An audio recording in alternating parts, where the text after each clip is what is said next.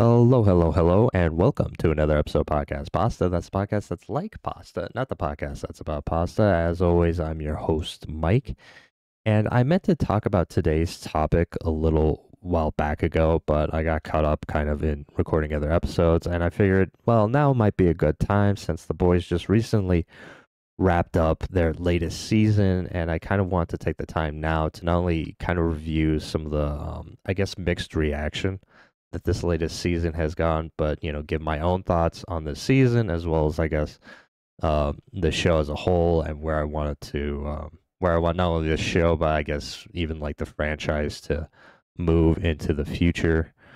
But um, yeah, like I said, this this latest season kind of got a mixed response from a lot of viewers.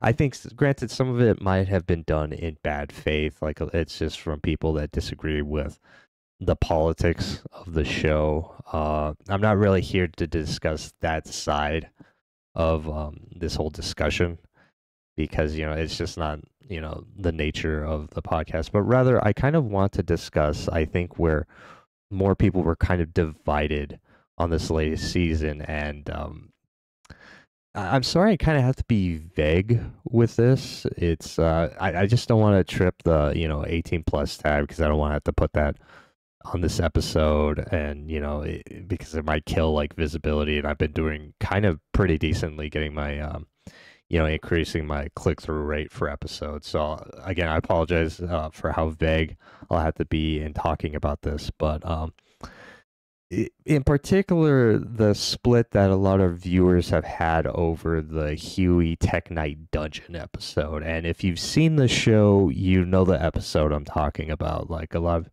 when it came out. Know, a lot of people were very divided on it. Um, a lot of people saying that this was like the down, like this is where the show has gone downhill. Um, and again, some of that uh, might have been from you know earlier uh, bad faith. Uh, I guess bad faith actors wanting to you know already like you know critique the show for again disagreeing with their politics. But I think a lot of it was also from people that um, both have I think valid and invalid criticisms of, of the episode. So I'll, I'll start with like the criticism that I think I agree with more. Um, and again, I apologize for having to be as vague as I am, but um, a lot of people, uh, when talking about that episode, um, were saying that they were treating the, if again, if you know the episode, that they were treating the subject matter um, more humorous like there it was framed in a more humorous manner especially with what happened to Hughie. And that um you know it's kind of a bad trope that exists in uh, a lot of like shows and television where you know this particular topic especially as it's directed towards guys is treated again more humorously than seriously. Uh and yeah, I kind of agree with it. I, I do see what they mean. Uh, like Pop Culture Detective did like a really great episode discussing like how how long running and how um, how long running of a trope this is, and its like negative consequences in terms of how we view said topic. So I. Like I, I don't know how much fault I want to give the boys for necessarily following in that trope because it's so long running, but at the same time, like with you know how well this show does a lot of uh, of its other writing, especially I think with um in, in, some ways how it handles its like you know um its politics. But I'll get more into that uh, kind of later in the episode. Uh, I, I think it is kind of unfortunate that they fell into this you know this kind of trapping with how they handled this whole um with this episode and topic, but um yeah, and and we should expect more of our media. Like we, you know, even like we should be able to challenge even well-established tropes and not just shrug off and say, "Well, it's done in other media, so why not just accept it here?" So I think that's a fair criticism of the episode. I don't think it's enough to distract from this the um this season or even really the you know the show in general. But th- I think that is a fair criticism to have. Uh, but a lot of other people, and I guess what kind of inspired um, this episode more was that a lot of people were saying that with the Tek Knight Hughie dungeon episode, uh, which is what I'm dubbing it out. I can't remember the actual episode name off the top of my head. Um, a lot of people were saying that it was dipping too much into shock value. That like you know it was essentially becoming like just like the comic with that. Um, and I I have two main issues with that. Like one, have you read the comic? Like no, the comic is still way more shocking than the show. Like especially like granted, I haven't like really I've only read like bits and pieces of the comic out of interest, but like the example I would give was like the difference in how the comic treats uh, treats sorry um Soldier Boy versus how it's done in the show. Right, and it's just like night and day. So uh, I, I just don't think that's fair. And also, like, have we been watching the same show this whole time? right? Like the show has not shied away from you know, you know, shocking imagery, both you know, in terms like in terms of its violence or otherwise.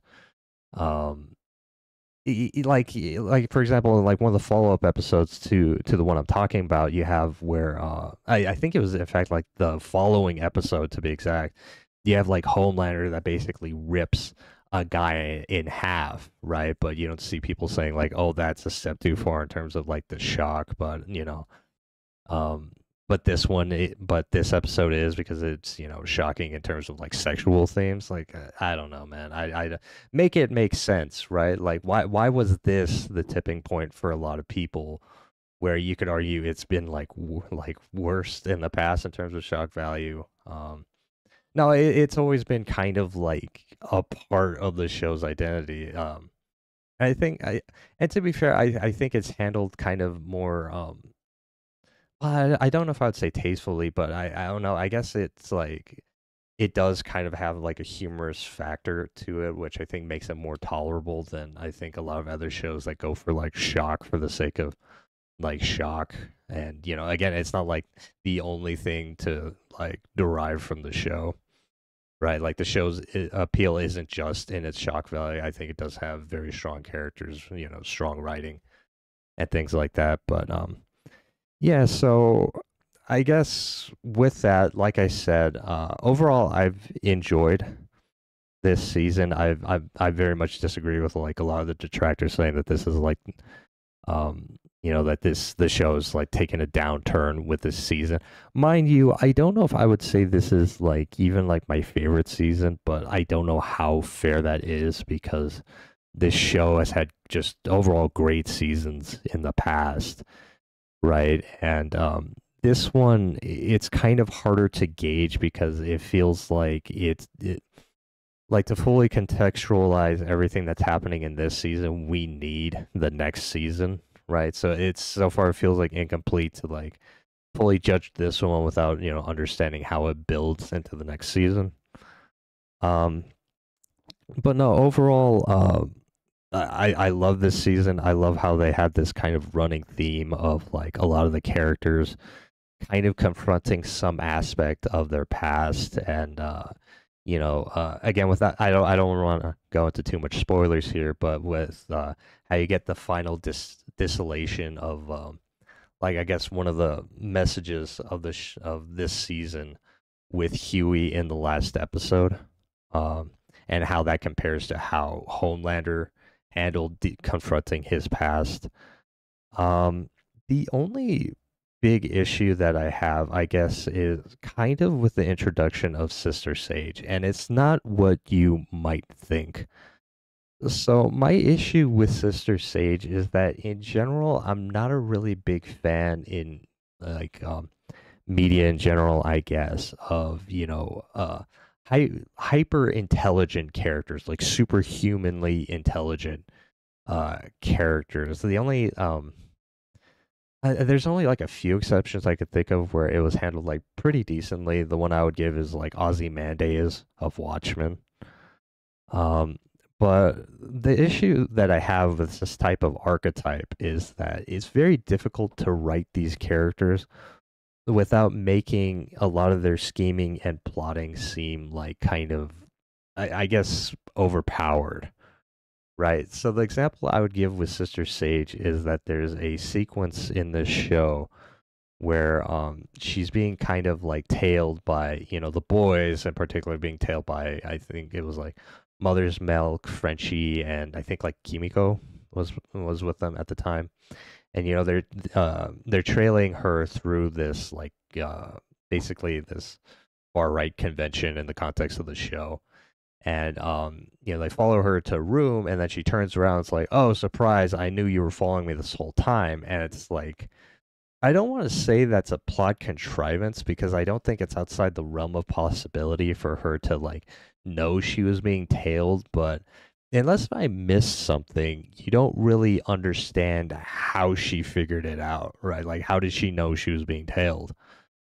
Um and like again, I I hesitate to call it a, plot contrivance, but you know, at the same time, I think what would have helped in general, and what helps the, these types of characters in general for me is being able to see their thought process, being able to understand, okay, how did she figure it out, right? Because otherwise, it kind of seems like she just found out out of nowhere, right? Which I I know that that wasn't what they were going for, but you know, um, that's that's just kind of how it comes across. The other example I would give, again, without going too much into spoilers, is in the last episode, you kind of have this whole sequence where uh, Homelander's plan is just completely falling apart, right? And you know he's sitting in despair in his room, and then Sister Sage comes in, and she was like, "Oh, surprise! The the plan falling apart was actually my plan all along." And it's like, what?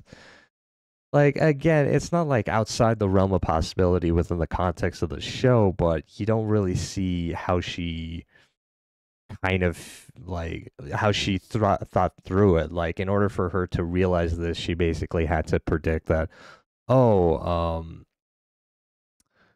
um, they were going to do X and Y and you know stuff like that, and it's just like you know, again, not not impossible, but like very it's very specific things that would have had to happen. Again like if you had just shown how she came you know how she would figure out like oh this is going to happen because of this you know her thought process i think it would have helped at least me a lot better but again that's that's my take on it and uh, at the same time i can understand why they went with writing her the way that they did. Uh a lot of it is to keep like her thinking and her scheming kind of enigmatic right to uh, kind of keep her in mystery so you don't necessarily understand like what she's scheming is she, who she who you know who is she playing at any given time and that aspect of her works like you know you are kind of intrigued by like oh what's she what's her next move going to be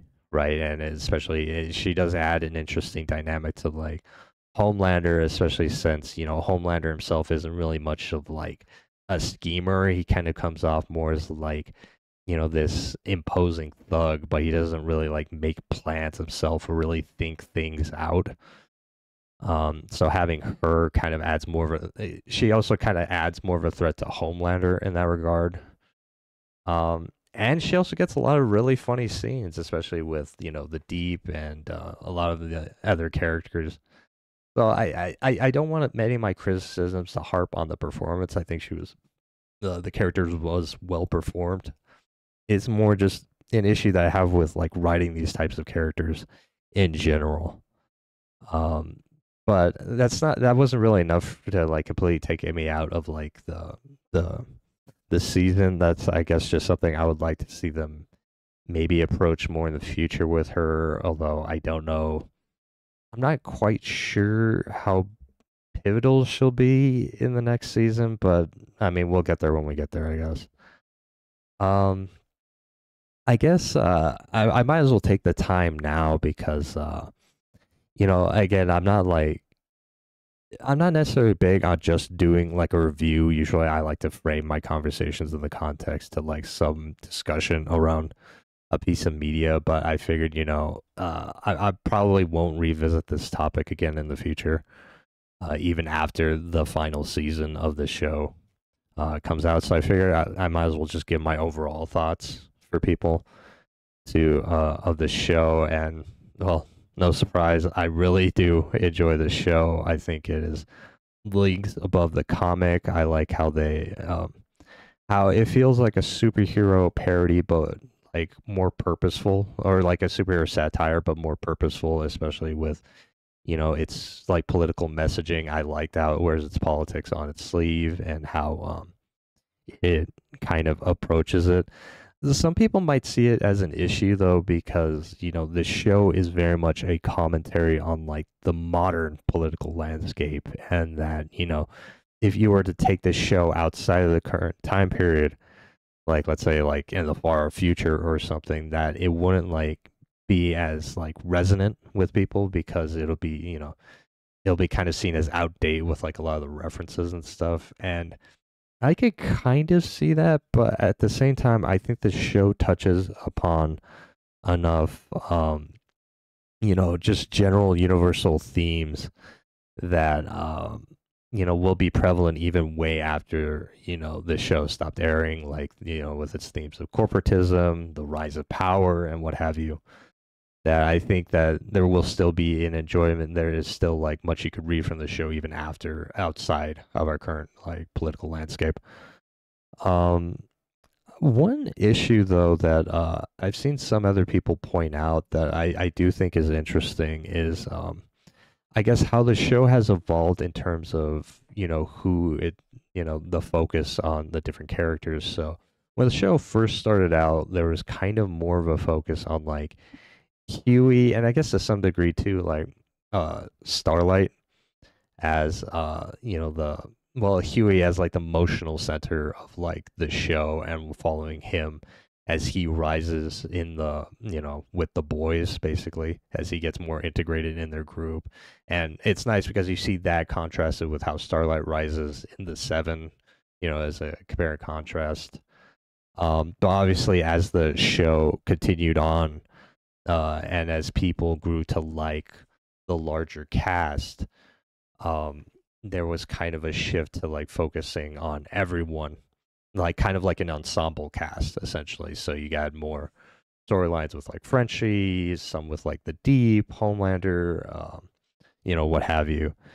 And I think, well, I don't necessarily hate it because you know I I do like a lot of these characters, especially like Frenchie, and I think my favorite is honestly Mother's Milk. Um, I, I see how you could kind of lose something with like taking the focus away from Hughie, especially since Hughie worked very well as like the emotional center and as kind of like the guiding point for understanding, you know, when the boys like to keep the boys from going too far in their pursuit of soups. And I think you kind of lose that when um, you know you take the focus away from Hughie and you basically just make him just a part of the team as as opposed as opposed to this unique role in the team. Uh, and you also kind of get another problem with, especially with the popularity of Homelander, right? So, um, you know, as the show went on, and even now, I think Homelander is like one of the, like one of the more popular characters in the series. Um, and the problem is that, you know, uh, taking that to mind, keeping that in mind, they're doing like more stories where we're we're focusing on Homelander as, as like a character to the you know we're following his perspective. Yeah, sometimes even throughout certain episodes, right? Like in this season alone, for example, there was an episode, like I was saying, where he was confronting his own past, and he directly goes to like I, I, guess you could call it like a lab or something where he was raised, and it was it was a great episode. It was a good um, episode for the actor Anthony Starr to show off his like acting chops, and you know it's one that I think a lot of people really liked. But um, the issue that I have with that, well, I guess this whole approach to Homelander is that you know when you follow a character like this, you kind of naturally build sympathy towards them and especially with like this latest episode you kind of understand like you know in a way why homelander is the way he is. Again i don't want to necessarily go too much into like spoilers on what happens or anything like that. And but so you, you build sympathy for homelander but at the same time the show is obviously wanting to critique like Homelander's philosophy and like you know um, you know his actions. So you kind of get like this incongruence where you know um, the show wants to critique it, but at the same time, like your audience is like kind of building a sympathy towards them. And granted, some of that is uh, also done in bad faith, like you know, um, because there are people that unironically like Homelander's politics and ideas, you know, um, and then you have like he's also like been ingrained in the like literally me meme that a lot of people do with like you know more reactionary male characters or what have you. Um, but yeah, so I, I, I don't know. Like uh, in some ways, it kind of feels like a detriment to the show to have Homelander be as sympathetic as he is, especially when you're like focusing on his perspective in certain episodes and things like that. Um, again, not enough to ruin it, and a lot of it is very much carried, I think, by like the performance of Anthony Starr and um, things like that. But it, it's just a it's just a thing, I guess, to keep in mind um, for myself when I when I evaluate the show as a whole. Um, but looking, I guess, into the future of the show, so um, I think uh, from my understanding, it's mainly just going to be this final season. I know, like, some of the actors were talking about, like, oh, it would be cool to have, like, a final season and then a movie to wrap it up. But I feel like that'd be a bit much. Like, maybe what they could do is have, like, a longer last episode um, of, you know, just to kind of wrap up everything and give people, like, a big finale.